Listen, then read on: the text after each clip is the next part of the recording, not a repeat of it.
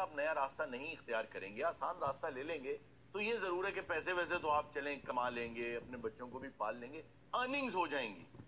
लेकिन अर्निंग में और अचीवमेंट में बहुत फ़र्क है। बेशक ज़िंदगी में अचीवमेंट कोई नहीं हो।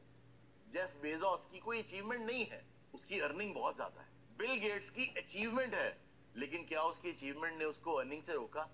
नहीं रोका। नहीं। लेकिन ये भी तो तयन नहीं किया जा सकता ना कि उस अचीवमेंट में कितना वक्त लग जाएगा। वक्त वक्त सबके पास बराबर है। बहुत से ऐसे लोग हैं जिनको हालात आपके वाले मिले, आपके ही जितनी, बल्कि आपसे कम उम्र मिली उन्हें, लेकिन अपनी उस कम उम्री में ही वो इतना कुछ अचीव कर गए, जो आप ख्वाबों में भी नहीं सोच सकते। अचीवमेंट हमेशा मुश्किल ही रास्तों से आती है। अचीवमेंट और अर्निंग में फ़र्क करें। फ़र्क क्या है दोनों में? फ़र्क ये है कि अर्निंग वो है जिस पे आपकी औलाद, आपकी आने वाली नस्लें आपस में लड़ेंगी, उसको बांटेंगी। हम्म। और अचीवमेंट वो है कि जो आप लॉन में बैठे बुढ़ापे में अपने पोते पोतियों को बताएँगे और आपका सीना फखर से चौड़ा हो जाएगा कि ये मैं हूँ जिसने ये किया। और इसको मैं मुश्किल रास्ता क्यों कह रहा हूँ?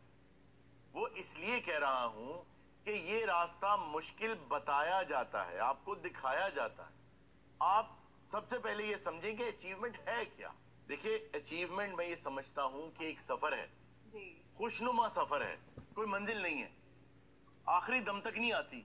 लेकिन आपकी ज़िंदगी का सफ़र इतना शानदार होता है कि जब आपको आखिरी सांस आती है तो उस वक्त आप ये कह रहे होते हैं कि वाह मज़ा आ गया। ये है अचीवमेंट लाइफ में आपने कोई ऐसी अचीवमेंट की हो कि जिससे फ़ायदा आने वाली नस्लें लें। मैं इसको अचीवमेंट समझ बिल्कुल जिससे इंसानियत को फ़ायदा हो जैसे जिसने बिजली बनाई अचीवमेंट है बहुत बड़ी। बहुत बड़ी जहाज़ बनाए जिसने है दवाइयाँ बनाई जहाज़ बनाए इंसानियत की कितनी खिदमत की। अच्छा हारून आसान रास्ता लेना या अचीवमेंट ना करना या नाइन टू फाइव में लगे रहना एक्चुअली ये मिसाल बिल्कुल ऐसे है जैसे कोलू में जुता हुआ बैल। एक नशा है इसमें कि आपको ऐसी लत पड़ जाती है जब आपके अकाउंट में पैसे क्रेडिट होते हैं कि आपको वो ये लत कुछ करने नहीं देती। लेकिन मैं इसके साथ भी इख्तलाफ करूँगा जो दानिश साहब ने बात की ना कि नाइन टू फाइव वाले जो हैं वो कोलू के बैल की तरह। लेकिन मैं ये समझता हूँ कि उनकी डेस्टिनी उनकी तकदीर में ये लिखा है। तो वो बेचारे क्या कर सकते हैं?